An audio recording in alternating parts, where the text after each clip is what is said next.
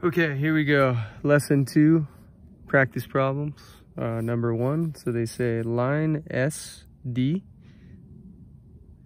is a line of symmetry for figure A, X, P, D,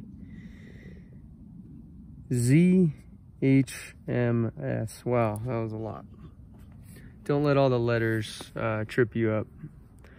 Noah, this guy named Noah, is saying that AXPDS is congruent to HMZDS because AX and HM are corresponding. So, um, why is Noah's congruent statement incorrect? Well, it's out of order. That's the big problem. Um, remember that order matters in a congruent statement. So if we're going to say um, A, X, P, D, S, uh, we're going to have to um, go in the right order for the other figure. So it should be M, H, Z, D, S. But he went H M Z D S. He went out of order. So, um, so let's write a correct congruent statement for the pentagons. Again, they're trying to um, teach you about order matters. So let's just use, uh, so A, X, P, D, S is actually congruent to M, H, Z, D, S. So there's that one. Okay. Um, here we go. Number two. Figure MBJ. So MBJ KGH is the image of AFE KJB after being rotated 90 degrees counterclockwise about point K. Okay. Um, draw a segment in figure AFE KJB to create a quadrilateral. Draw the image of the segment when rotated 90 degrees counterclockwise about point K. All right. Um, so that one's pretty easy. Uh, you would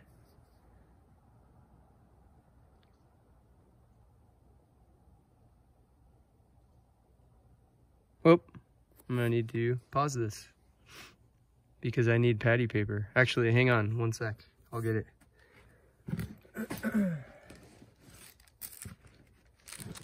okay, so Let's do this. A, F, E, K, J, B.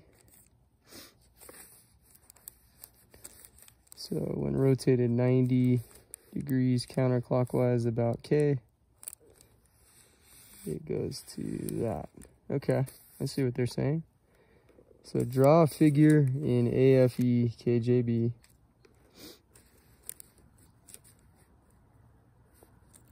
So draw a figure in A, F, E, K, J, B, a segment to create a quadrilateral. Uh, draw the image of the segment when rotated 90 degrees about point K. Okay, no worries. Quadrilateral is um, a four-sided polygon so if I just drew this line right here, that would make this a quadrilateral, right? Rectangle is a quadrilateral because it has four sides.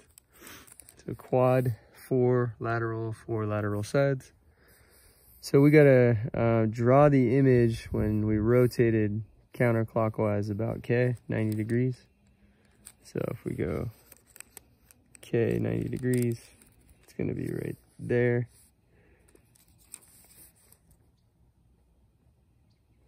So then um, it would probably help to label this one.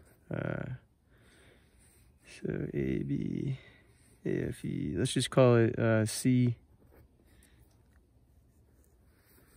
And then let's call this one, um, let's just call this one D because D hasn't been used yet. Neither has C. So write a congruent statement for the quadrilateral you created. So this one right here. And the image of the quadrilateral in this one. So let's just call it ACEF. So we'll say ACEF is congruent to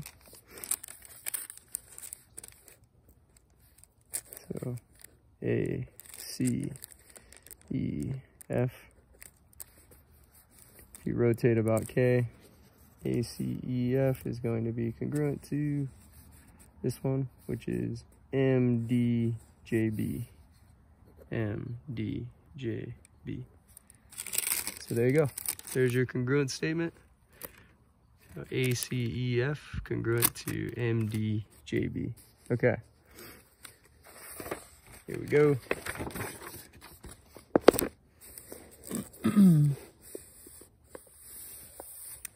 okay, we've seen this problem number three before. Um, So triangle HEF, so HEF is the image of FGH after a 180 degree rotation about point K. Select all the statements that must be true. Okay, so let's just draw this.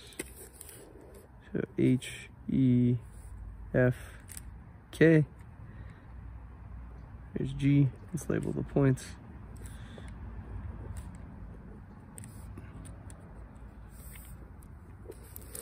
Okay, so if we rotated this 180 degrees, so if we rotated um, this one 180 degrees, it would land on HEF.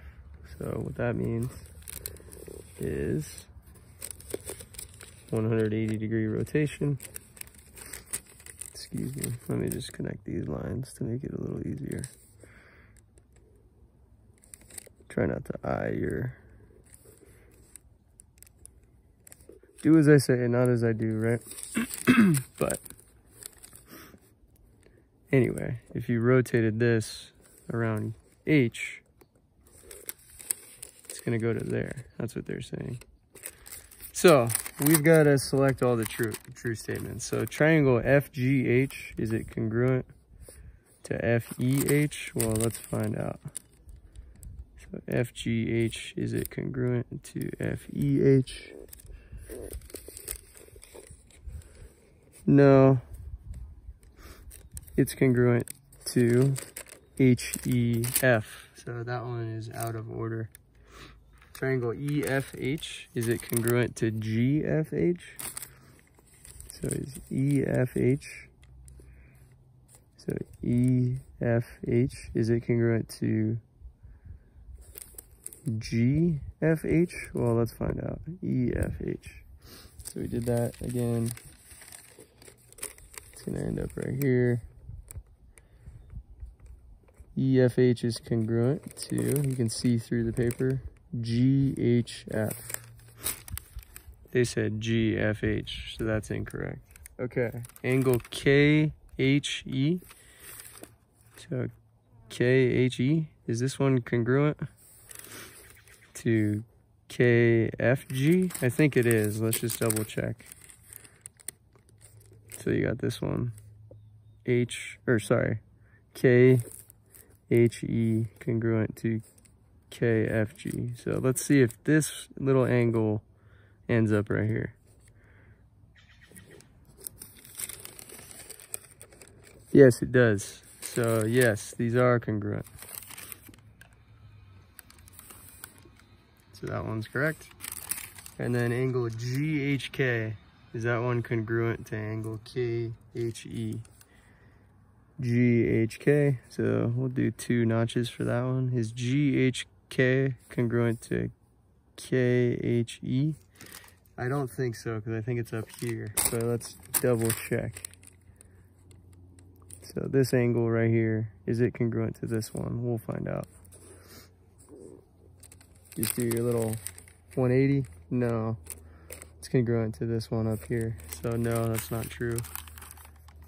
Is segment EH congruent to FG? So EH and FG, let's find out. They look to be, but this is a tricky one because I think it's out of order. So EH is right here. EH, let's see if it's congruent to FG. So you spin it, EH is going to be congruent to this and this, which are GF. So no, FG is wrong. It's out of order. And then last but not least, segment GH, is it congruent to EF? So is GH congruent to EF? Looking like it might be. Let's see. So G, H, and E, F. Remember, they got to be in the right order. So G is going to go up to E. Yep. So you see the G and the H upside down. Um, that is congruent to E, F. So, yep, answer should be C and F. So, um, good luck. Uh, or um, hopefully you did okay on those. Um, just one, two, and three for lesson two. And uh, we'll do another video for lesson three here in a second. Thank you.